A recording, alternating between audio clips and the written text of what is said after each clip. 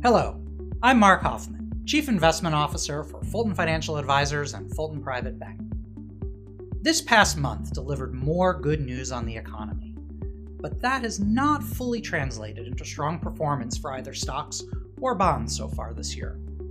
The S&P 500 has reached record highs this year, powered by the mega-cap tech companies. But most stock indexes are pretty much flat through the first 5 weeks of the year. And bond indexes have declined somewhat. This happens in the short run.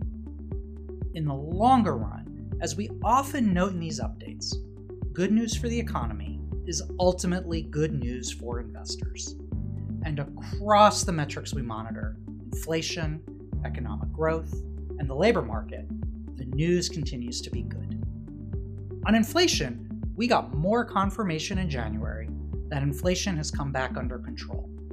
As measured by the Fed's preferred metric, the PCE price index, prices rose 2.6% for the full year of 2023.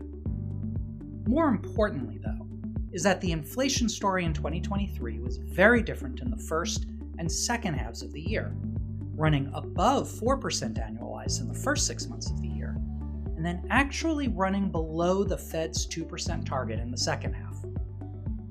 That is a big part of why many forecasters believe the Fed will feel comfortable cutting rates this year.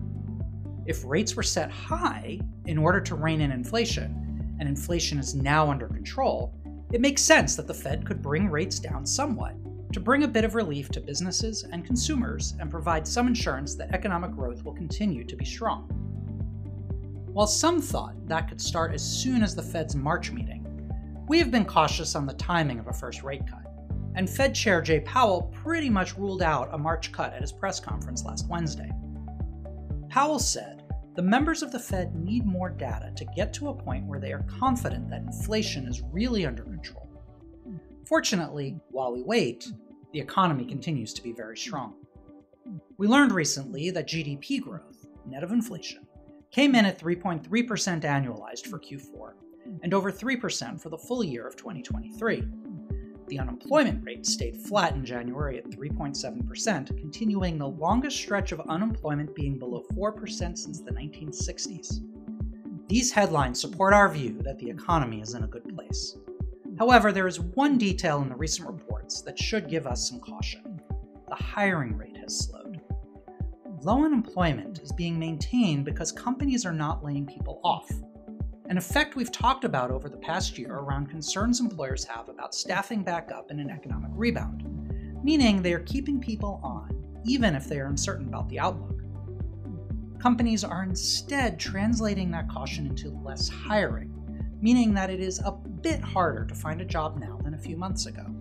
This caution around hiring could eventually lead to the labor market getting too soft and an economic slowdown. The good news is that the Fed has a big tool they haven't had for most of the past 15 years to combat that the ability to cut interest rates. As it becomes clear that inflation is under control, we believe the Fed will indeed cut rates, which will allow companies and families to go ahead with projects and purchases they were putting off due to high rates and that will be the economic boost we need to keep the job market strong. All in, the news continues to be good, despite what you might see in some headlines. Digging into the details carefully applying what we're learning to make small shifts in portfolios when appropriate, coupled with our long term, patient approach, is what we believe will lead to long term investment success. Thanks for listening today, and I look forward to talking with you again next month.